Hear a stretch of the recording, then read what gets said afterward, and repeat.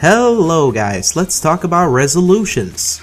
This is me playing with 1920 by 1080. The advantage of doing that makes everything more clear and easier to see because this is my native resolution. Now, some people like lower resolutions. One of the reasons for this is because you get slightly better FPS. Another reason for playing with lower resolution is probably because you're used to old monitors, which basically had lower native resolutions. All in all, it all really comes down to personal preference.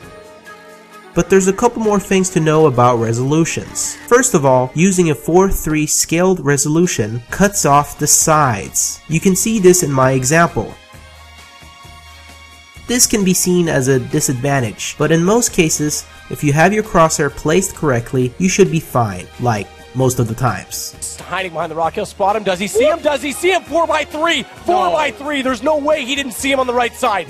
No way. Another popular setup is to play 4-3 stretched. Stretch makes all the models look wider, and most people like this. It can also help with reaction times.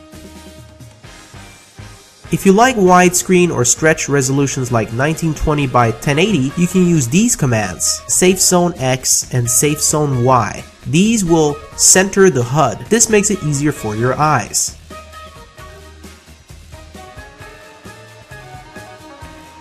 Another thing that is worth to mention is that the menu screen, console, and all other overlays become bigger when you use lower resolutions.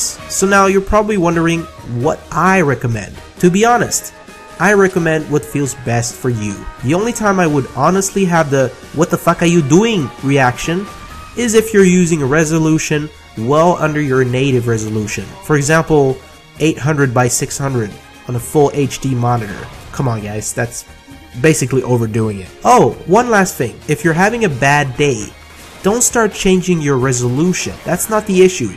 It's all in your head. Changing stuff is not usually the solution to your problem. Okay guys, so what resolution do you prefer? Please comment down below and have an awesome day guys.